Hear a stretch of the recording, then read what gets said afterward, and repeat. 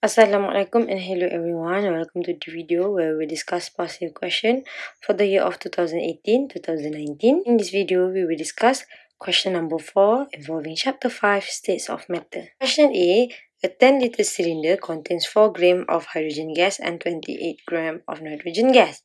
If the temperature is 31 degrees Celsius, Question 1 Roman determine the total pressure of the gases mixture.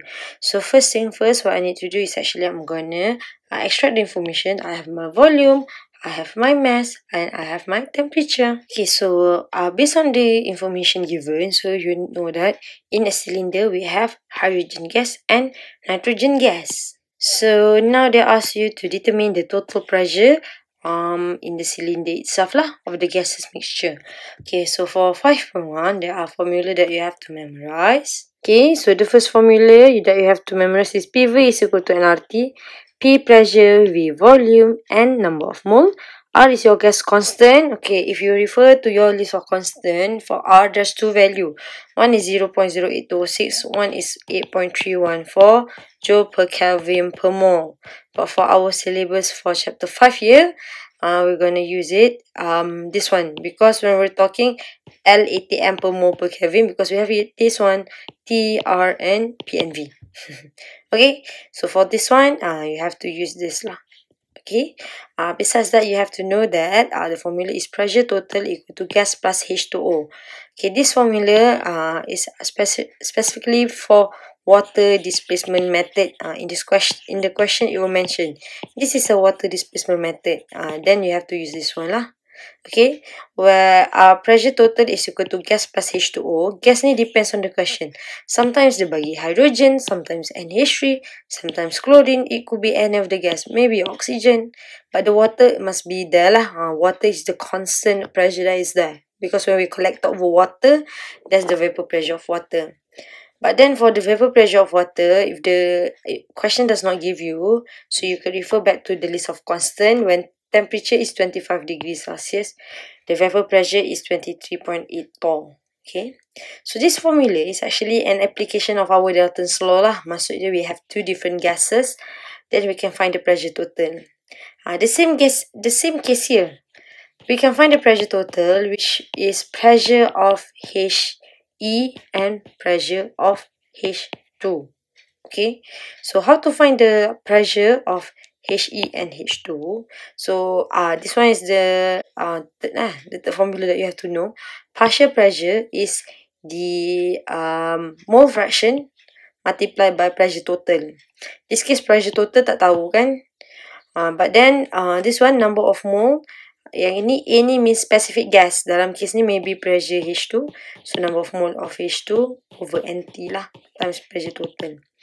Okay, T ni total. Total tengoklah. What is the gas uh, present in your molecule. If you have two, then you have to add up two gas lah. If you have three, then you have to add up all. Okay, so this case, determine the total pressure. This one, PT. So we have to find PV is equal to nRT, where this case, uh, P ni must be pressure total. So if the pressure is total, the number of mole must be total lah. So we have to find the total number of mole. So how do we find out total number of mole? We have our mass. So we can find number of mole mass divided by molar mass. So we have to find mass of uh, number of mole for um hydrogen and for uh this one nitrogen. Yes. Once you have found the number of mole for H2 and N2, next you have to find again based on the formula we want to find the total mole. So the total mole as we is when we add up this two value. So we get the value to be 3 mole. Okay, remember uh, here hydrogen now uh, the molar mass is 1 but we have 2. Yeah, the number of mole for nitrogen is 14, but we have 2. So that's why lah. So then we can substitute to find the pressure total. Okay, pressure total is our unknown. So volume. Uh, volume again, the unit must be in liter. Okay, so this in liter. Number of mole total. Okay, mole, the unit must mole, same one. Okay, R is your gas constant. Okay, temperature. Temperature 31 degrees Celsius. Uh, this one you have to change into Kelvin. Since the unit for it is per Kelvin. This one you have to change it into Kelvin. Which is you're going to add 273.15 to change it from degrees Celsius to Kelvin. So once you have substituted it, you will get the total pressure to be 7.49 atm. So that's for question 1 Roman. Question 2 Roman, calculate the partial pressure of hydrogen gas. So partial ni means the pressure of the gas itself lah. Uh, this case, it only wants for the hydrogen. So uh, using this formula, which is this case, pressure of H2 equivalent number of mole H2 divided by number of total multiplied by pressure total. Okay, so this is the formula, uh, the formula that you have to write down. Make sure you substitute the correct value. So number of mole of H2, this case is 2, total is 3, pressure total is from previous question. Hence you will get the answer to be 4.99 atm. So since the question only ask for hydrogen, then you're going to find only the hydrogen lah. If you're going to find the partial pressure of HE, no problem. But then there won't be any marks because the question only asks for hydrogen. Okay. Uh, so this is one way for you to do it. If you want to do um PV is equal to NRT pun boleh juga. But for this case, you have to find yang ini pressure specifically uh, pressure H2 V must be number of mole of H2 RT. apa boleh. It's either you want to use this one or this one. Kan? Ha, number of mole cannot the total lah. Number of mole of H2. So if you refer to the calculator on my right hand side, uh, this one again, I use PV equal to NRT. It's just that my N is not equal to 3 anymore lah. Kat sini N equal to 3 kan. Tu N equal to 2. Alamak, tak nampak. so PV equal to NRT. Uh, this one pressure H2. So this is must be number of mole of H2. 2. Okay, ha, so you can see the answer to be 4.99 as well. So up to you, nak guna ni boleh. Nak use the formula for partial pressure pun also can. Okay, so that's for question number 2. Question 3 Roman, what will happen if the gases mixture is heated to 550 degrees Celsius? So right now, our um, gas, the temperature is 31 degrees Celsius. So what happens if it is heated? So this is actually based on the theory lah. Okay, so what you have to write down first, when temperature is added, the kinetic energy increase. So uh, remember, in a wall of container, for gas molecule, okay, each of the molecule have its own uh, kinetic energy. Okay, so what happens that when temperature is added, the kinetic energy increase. So it means that when we it will increase, it will move around lah what will happen there's more collision uh, since it move around a lot so it will collide more not only between the molecules but between the molecules and the wall of the container so here mentioned there's a higher number of collision between the molecules and the wall of container so what does it mean when there's more collision uh, more collision between the molecule and the wall of the container itself so what does it mean is that our pressure will increase So that is explanation for question number three. Uh, so this explanation is actually uh, application ataupun something that you have also learned during your secondary school lah. So again, when temperature is added, kinetic energy increase. So there's more collision. Okay, that's why pressure increase. Okay, uh, so usually chapter 5.1 calculation for this part, dia juga minta the theory behind it lah. Okay, so that is all for question A. Question B. Under the same condition of temperature and density, determine which gas behave less ideally. Okay, So what does it mean by um, less ideally? So for 5.1, usually we use PV to NRT. So this formula is used actually for ideal gas. Okay, so what is the characteristic of ideal gas? Okay, for ideal gas, there is no attraction between molecules and the volume of gas is negligible. Okay, so what does it mean? So when we're talking about gas, okay, so here gas is moved randomly and rapidly around the container kan. Okay, so when we're talking about this, um, apa ni, what do you call that, collision and all, we we assume there is no attraction between molecules. Okay, so that's why they akan uh, collide. Uh, it will not collide with each other. It will collide with each other as well as the wall lah. But actually, this one, what we have learned in chapter 4.4, intermolecular force, there is actually attraction between molecule. So when there's actually attraction, sebenarnya dia tak adalah move freely pun. Uh, dia akan collide together. Maybe dia akan jadi, um, dia akan more instead of collision macam ni, uh, maybe dia akan dekat-dekat uh, and then it will collide but maybe the probability will be less lah. Okay, and then we're talking about the volume of gas is negligible. Okay, volume of gas is negligible means that uh, usually we don't calculate the volume of the gas. We mention about the volume of the container ni. Okay, uh, so that is the ideal gas. Back to the question. Okay, determine which gas behave less ideally. CH4, SO2. So we have two points here. Okay, so um, since what we have learned in chapter 4, we have learned about the attraction IMF. So I would like to compare in terms this one lah. There's no attraction. So um about the attraction here, okay, what we have learned in 4.4, okay, but a bit of revision for chapter 4. Specifically for 4.4 intermolecular forces, we have, we have learned there are three intermolecular forces. First is hydrogen bonding between electronegative atom, FON, FON, fluorine, oxygen, nitrogen with hydrogen. Ah, kalau contohnya we have HCl.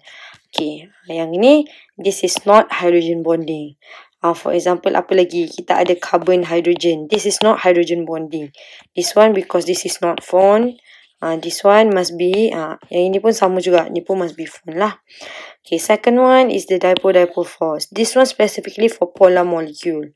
While London force is for all of the molecules lah. All molecule have London force. Okay, so for the case of strength, uh, higher, hydrogen bonding is the strongest one. Okay, the second one is dipole-dipole force. The weakest one is the London force. So when we're comparing the molecule, okay, we also uh, we always compare about size, shape, polarity. Size ni dari mana? Size ni when we calculate the molar mass. Okay.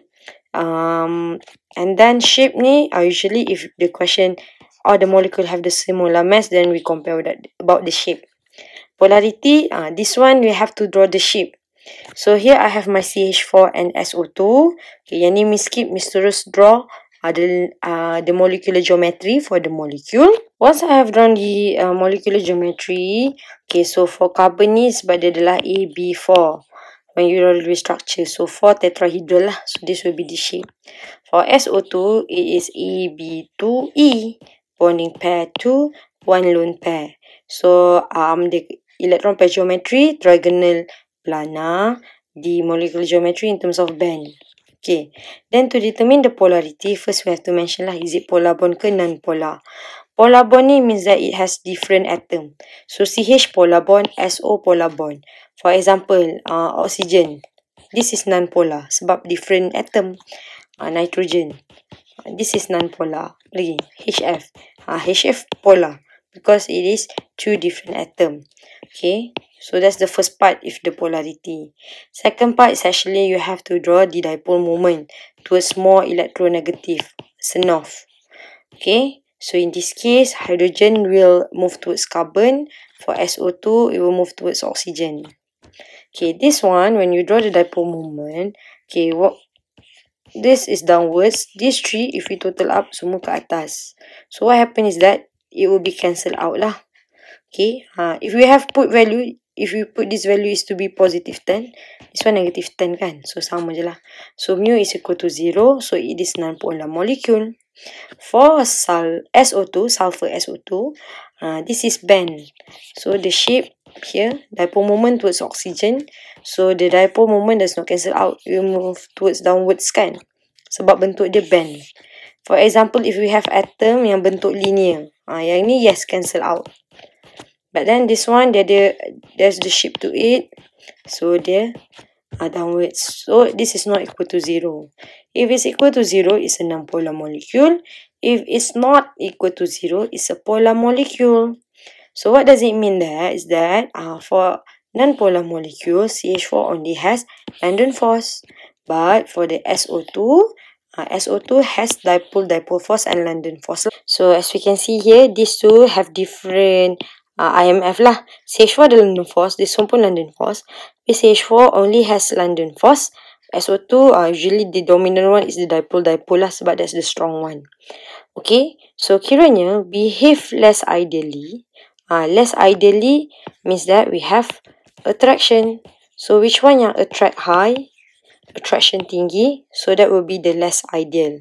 So this case, our SO2 is the less ideal gas. So if you want to write down CH4 is more ideal pun is fine. Dua-dua means that it has the same, it means it answer the question lah. So mana satu yang less ideal. So less ideal is SO2. So the reason uh, we have to mention lah sebab actually I guess we're talking about no attraction. So when we're talking about no attraction, baru ideal. So kiranya SO2 ni, dipole-dipole force is a strong one. So that tak boleh lah kita assume no attraction. Okay, so how do we put in words? So we've mentioned that the intermolecular force of SO2 is stronger than CH4. Okay, so this question marks dia tak banyak tapi it actually tested your um knowledge and your under your understanding lah. Ha, they will go back to your chapter 4. Question C, in an experiment, when gelatin was added to water, the water become viscous. Okay, explain the relationship between viscosity and intermolecular force. So first, we have to define what is viscosity. Okay, viscosity is the resistance of a liquid to flow. So, uh, for example, in our day-to-day -day life, uh, kalau water, uh, water is it high viscosity? That's not lah. Sebab viscosity resistance of liquid to flow. Kalau H2O or your water, uh, senang je dia nak flow kan. Uh, contohnya kamu buka air pipe, uh, kan senang. Aku cari kau tak ada air, memang tak ada air lah kan. Okay, so that is um for example lah. So, if you have, um, apa lagi ya? If you have, ha, madu, your honey. Uh, honey we uh, we uh, refer it as viscous sebab dia susah lah. The resistance of liquid to flow. It does not flow easily. Okay. So that is viscosity. But then the question asks to state the relationship or explain the relationship between viscosity and intermolecular force. So here I found a picture on Google. Okay, so this is the example. So the viscosity type. Uh, so the easy one uh, sebenarnya yang everyday day to life kita jumpa yang inilah. Okay, uh, so water low viscosity with honey, uh, there's high viscosity. Okay, so then we've mentioned about intermolecular force. Intermolecular force is about attraction between the molecule itself lah. Uh, attraction between molecule.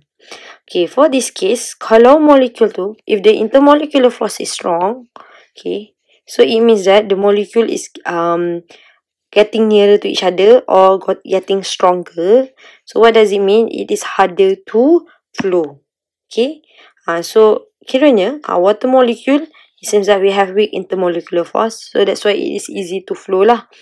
If we compare it with, honey, uh, honey ni uh, it it has a strong uh, molecular a strong intermolecular force ataupun bond. Uh, that's why uh, bila dia strong attraction, uh, dia lagi dekat-dekat dengan each other, dia lagi tak nak pisah. So sebab itulah dia susah nak flow.